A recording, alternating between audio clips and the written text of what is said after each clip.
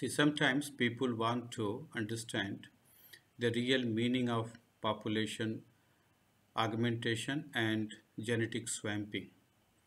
These two terms are interrelated to each other and are concerned with population biology.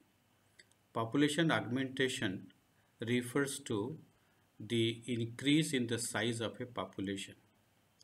We should understand that presently a number of mammalian population, a number of uh, reptilian population, and also bird population, maybe even amphibian population of a species uh, may be reduced to a very small size because of changes in the environment or because of our activity, human activity. So when the size of a population gets reduced to a very small number, then we become concerned. We want to actually increase the number of individuals in that population. So uh, human intervention requires. We actually start uh, captive breeding.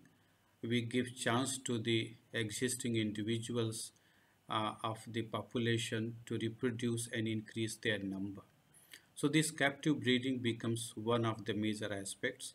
All such things will have to be performed under, uh, under guidance, under observation, under vigilance.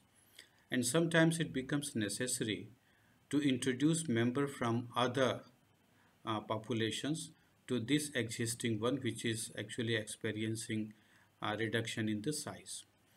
So population augmentation that refers the ways by which the size of a population which is towards uh, decline could be maintained to larger extent. Because when the size of a population gets reduced to a small size, only few members are left, then uh, that may lead to, uh, one day it may lead to extinction of that uh, population from that specific area. So, uh, and if the similar thing is happening in several other areas, then there may be extinction of that species. So this becomes a matter of concern.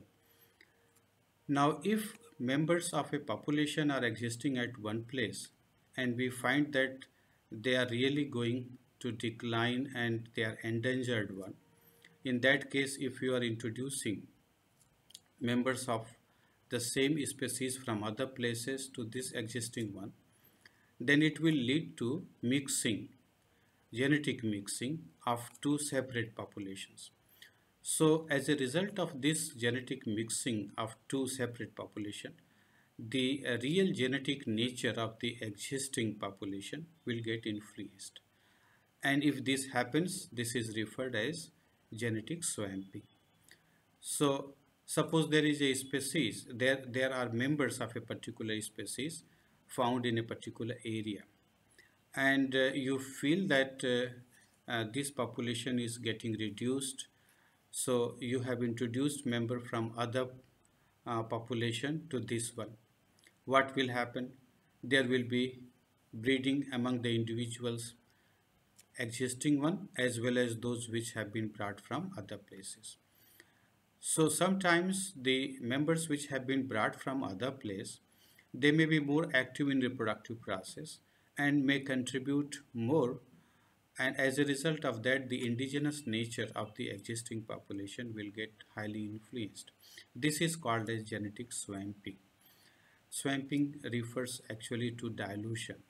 So sometimes we find that there are different races of organisms existing at other so many other places and they have their own genetic characteristics. So if two populations uh, being referred as races, they are mixed together, then definitely the existing genetic nature of a specific population will get influenced. So these are the two terms that is population augmentation uh, which actually refers to the ways through which we can increase the size of a population which is towards decline and genetic swamping is a phenomenon in which the real genetic nature of a population gets highly influenced because uh, it is actually uh, being boosted by the introduction of members from other populations which may be genetically quite different from this existing one. So uh, this is the meaning.